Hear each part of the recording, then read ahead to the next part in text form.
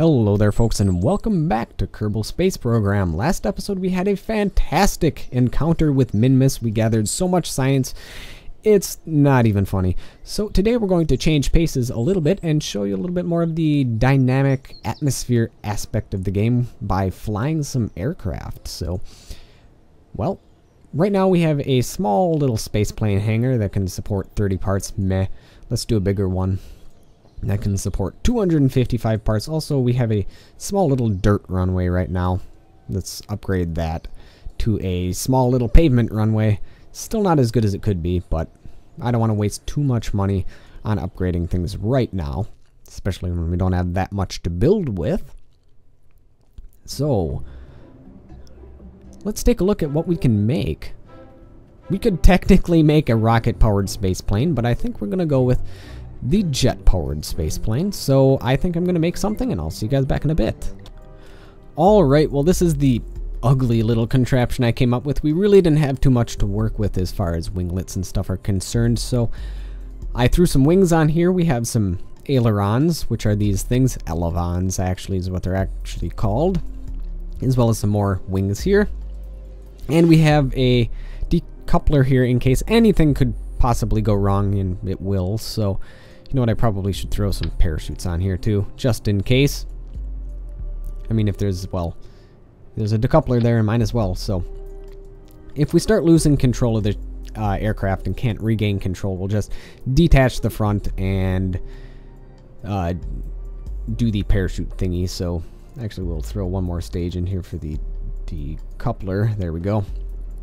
And Right here, these are actually rocket boosters, but rocket engine fuel tanks, but we don't have any proper jet engine fuel tanks, so we have to use these. And the difference between these and other ones are that they can have oxidizer in them, and we don't need oxidizer for jet engines because jet engines get their oxygen from the atmosphere, so we don't need them to have oxidizer in them, and that will make the ship a little bit lighter. And it does have liquid fuel still. And if you're going to have a jet engine on the back, you have to have air intakes somewhere on it. So there are the air intakes. We have our stuck landing gear that are always stuck in that position, but whatever, that'll happen. Also, we have our service bay with some science. And we should definitely take a new pilot along with us. We love you, Jeb, but we're going to take Valentina Kerman. Because Valentina Kerman is going to be our spaceplane woman, I guess. And that's going to be about it. Also, there are some solar panels on here. Not that we really need them, but they're there. And we also have um, two vertical stabilizers in a V formation in the back. Also, let's... Uh, that'll be good. Let's go to the parts. And I want to show you the center of mass, center of thrust, and center of lift what you want to do is you want to get your center of mass and your center of lift as close as possible.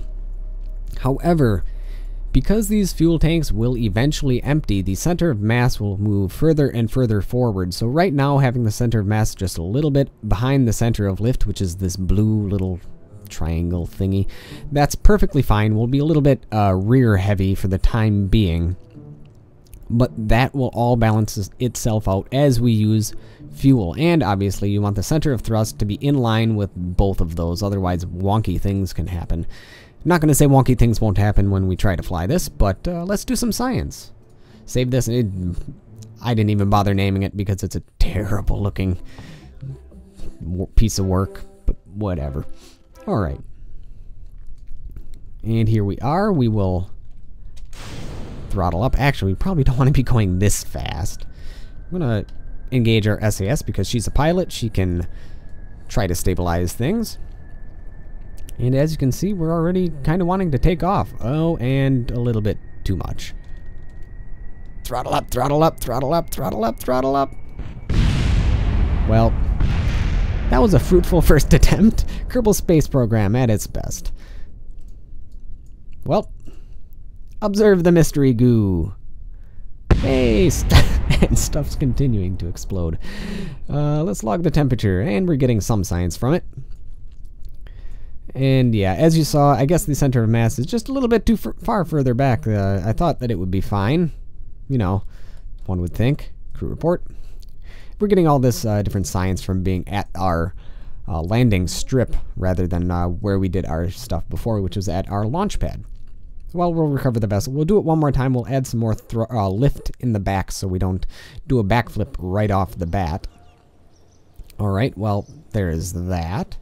So we've got some science, not much, not enough to do anything um, that great. Also, Valentina Kerman got better XP, which will hopefully prevent her from doing backflips in her ship again, because the better experienced your crew are, the better SAS they essentially have. So there's always that to keep in mind. And we need more lift in the back, so let's turn on our center of mass and center of lift. And if we do this, you can see the center of lift uh, moves further backwards because we're adding more wings to the back, essentially. So um, we, we want to put two there, not just one. And there we go. That's much, much better. And if I move this further back, there we go. We're pretty much smack on center with that. And eventually the center of uh, mass will move further forward, which will make us nosedive. But if that happens, we do have our decoupler there. So let's save that and launch. Our last attempt wasn't, you know, too bad. Okay, it was pretty bad, but we did get some useful signs from it. Probably shouldn't be thrusting up this quickly, but here we go. And we're, yeah, doing stuff, so let's... Hey, it flies! Actually, quite well at that now that we changed our center of mass, or, well, actually, center of lift and center of mass was all changed when we added those wings, but there's, we're going to try to make it, there's an airstrip out here with some cool biomes that we can research, so Valentina Kerman is loving it. Let's open this. While we are over the ocean, we are going to record some temperature. I believe we have two recording temperature devices, only one apparently, so I guess we're not going to do that then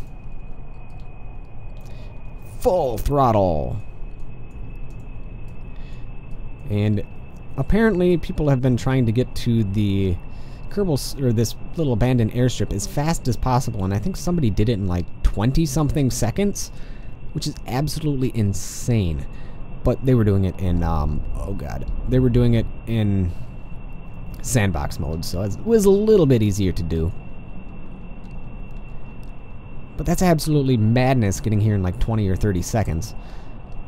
I am by no means going to get there in that amount of time. In fact, probably going to do a sh short little cut until we're closer to there. So see you guys there.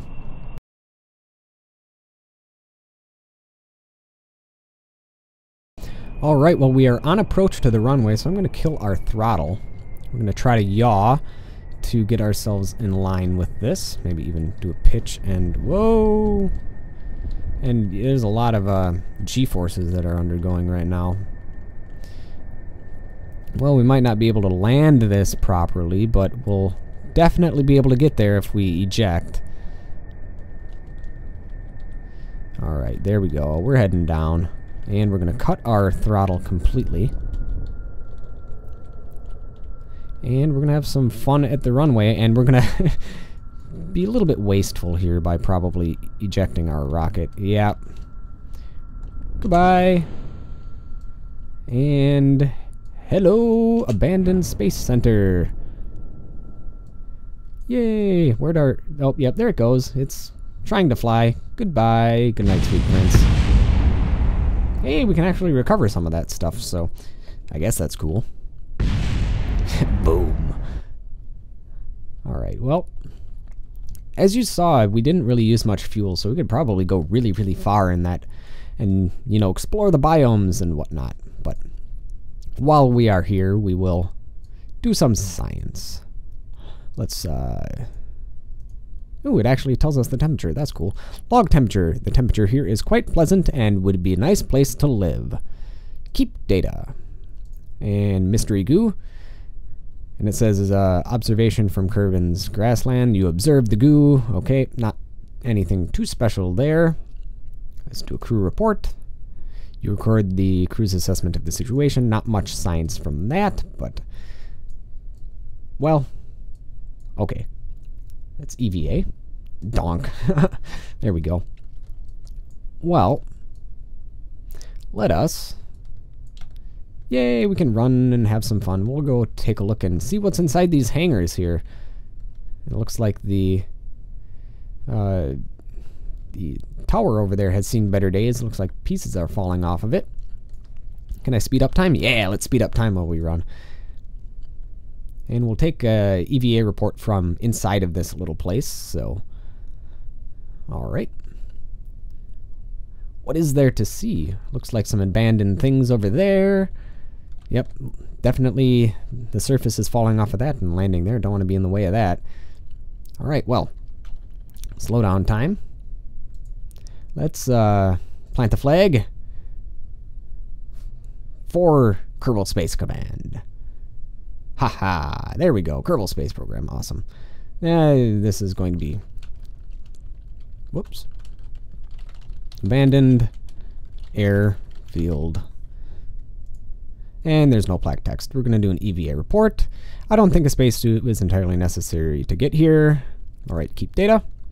And let's uh, go exploring. We super fast. And inside of here are nostalgia parts for anybody who's ever played this game from when it was an early, early, early release. I think it was, uh, I got this game when it was like $10 and it wasn't on Steam and it was about three or four years ago or something like that. It was a long time ago, and this is pretty much all of the parts that you could have. And there was one decoupler, I believe, and there was one other engine and a parachute. And that was about it. Also, space tape. There was your ever important space tape. And that was the first command pod that you ever had with uh, Bill Jeb and Bob all inside of there. Ah, uh, good old days of Kerbal Space Program. All right, well, see what else there is to see over here. Ooh, pretty stuff. I don't think there's anything else in any of these. Nope. Well, let's, uh, I guess we can go home then. Can I do another EVA report? Yeah, whatever. Okay, same thing. I think we got more science, though. I think we had three science from the last one. This one got 4.8, so that's always nice. And there's our flag. We're gonna... We don't even need to run back to our ship. We're just gonna recover the vessel.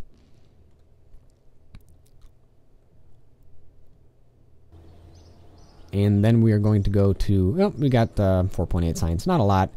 No XP gained. But over here, we can recover these pieces.